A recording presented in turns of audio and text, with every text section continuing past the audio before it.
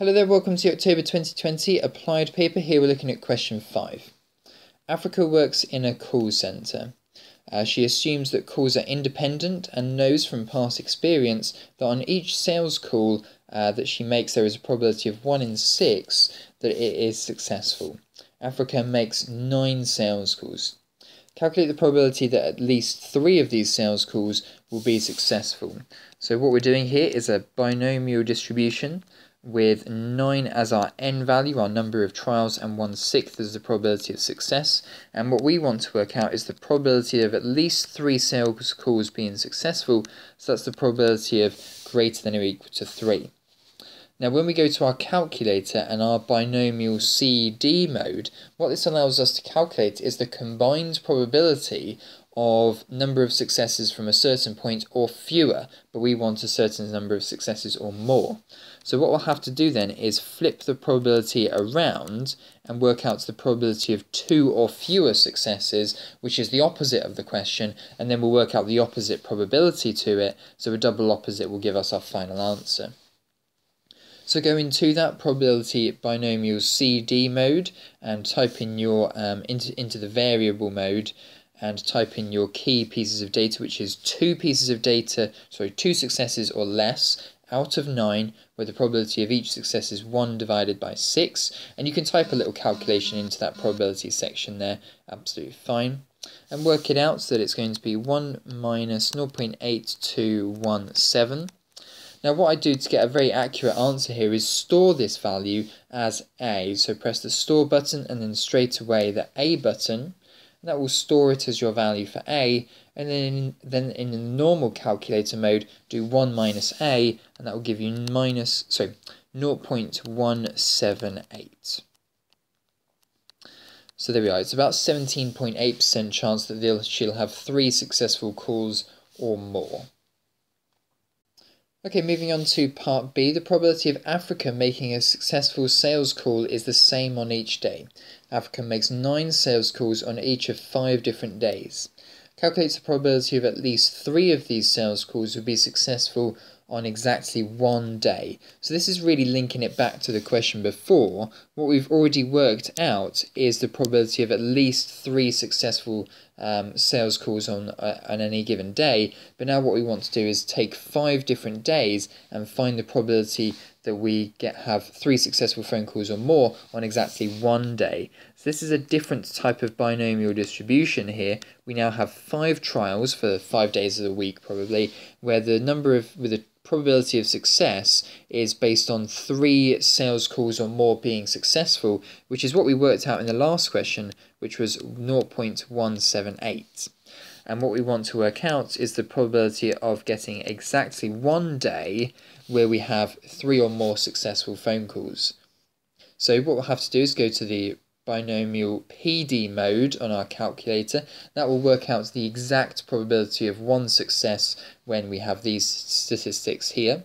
Go to the variable mode, just type in your one success out of five with a probability 1 minus A. Remember, that was the calculation that we had from before, um, because A is the probability of two or fewer successes, and we wanted the opposite of that, three or more successful phone calls. So that's our probability, and that will make it as accurate as possible. Once you've pressed enter on that little thing there, it will appear as 0.178 dot dot dot dot, dot but it'll be an accurate answer. And we get an answer here of 0.406.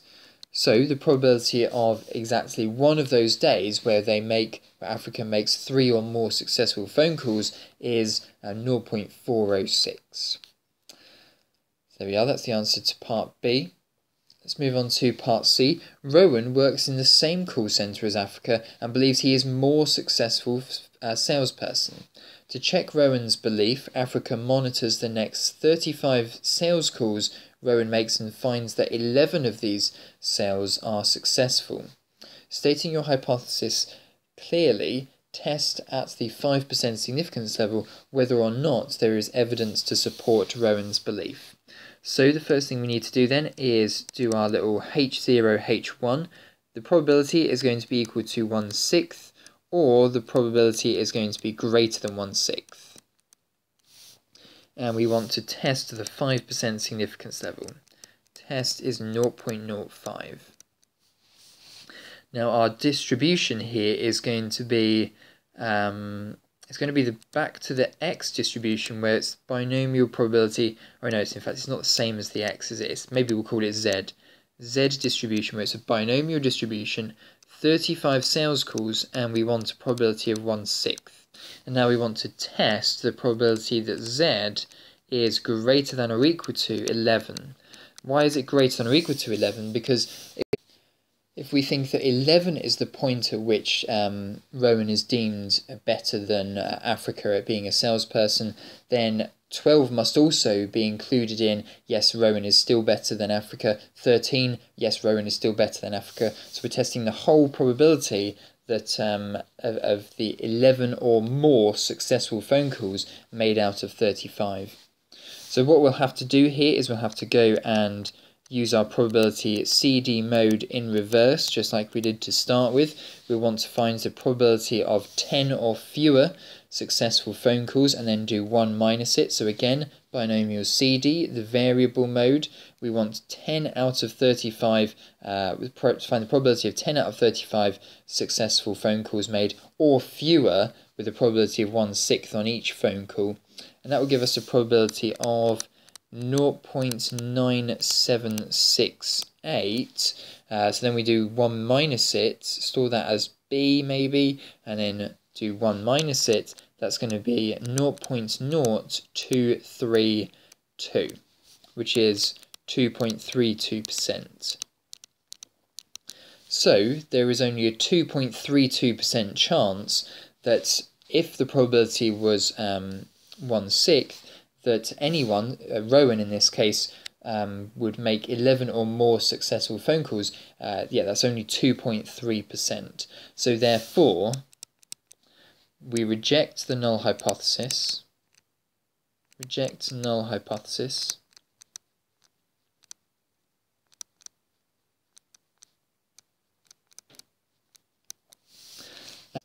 and support Rowan's belief that he is more successful a more successful salesperson.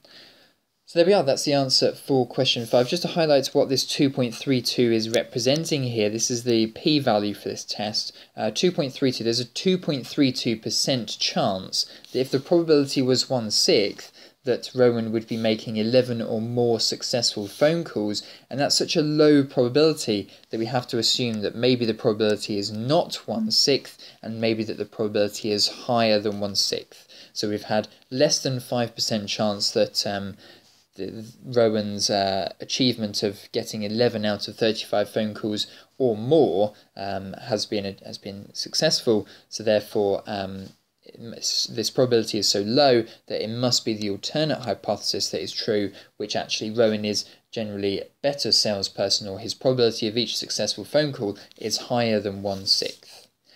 Yeah, so there we are. So that's the answer for question five, worth uh, eight marks in total. Let's move on to question six.